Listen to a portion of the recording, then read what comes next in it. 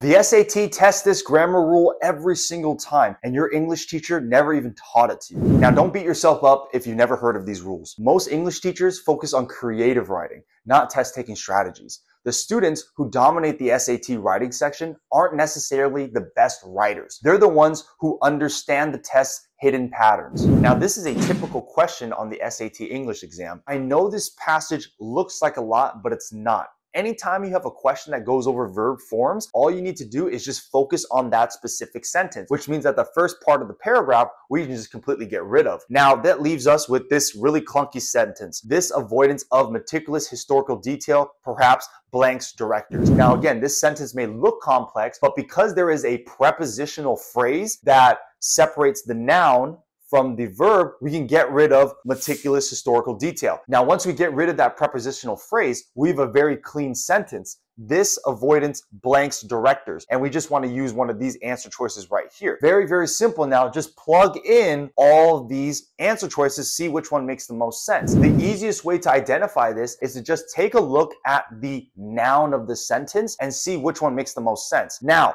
we know that the noun in this case is avoidance. This is a singular noun. There's only one avoidance. So if we put in A, this wouldn't make sense. This avoidance encourage directors? No, that doesn't really work. This avoidance encourages would have worked, but in this case, we don't want to include this one, so A is out of the picture. Now, the next one, this avoidance are encouraging. Now, that doesn't make sense because are is used for multiple things. This avoidance is one thing, so we don't even care about that. We can get rid of B as well. Now, what about for C? If you said this avoidance have encouraged, that just doesn't really make any sense because have is for multiple things. You only have one avoidance. So this is very much the same as B. So we don't need C as well. Now, the last one, just by process of elimination, D must be our answer. But if you want to prove it, just say this avoidance has encouraged. Okay, this avoidance has encouraged. That sounds right because has is for a singular noun and avoidance again is a singular noun. If you want to master time-saving SAT shortcuts that add 100 plus points to your SAT in just six weeks, I break down exactly how to do it in one of my YouTube videos. Just comment the word shortcuts on my Instagram or my Facebook and I'll send it over to you for free.